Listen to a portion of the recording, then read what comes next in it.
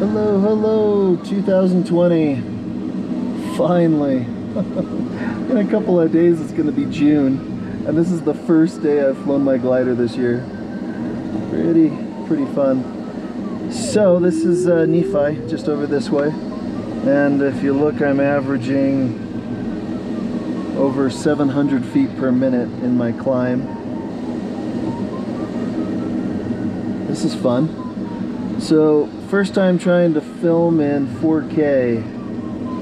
So we'll see if it's a if it's any better and if it's a pain in the butt in editing, but anyway, we'll see what happens. But uh, kind of a dynamic, interesting day. Lots of clouds, a little bit of sun, some high clouds, mixture in between.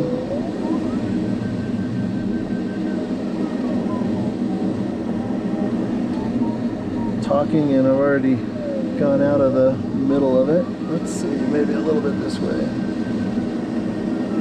But what a pretty day. And man, is it fun to finally be back up in the air. So wishing all my friends well all over the world. Hopefully you're safe and well from this crazy COVID-19 thing. Here in Utah, it hasn't been too bad, but I've got plenty of friends that are in places that have been pretty darn locked down and just not, not good. So anyway, well wishes to everybody and uh, happy to be flying again. And uh, I hope all the thermals are this easy this season. so cheers.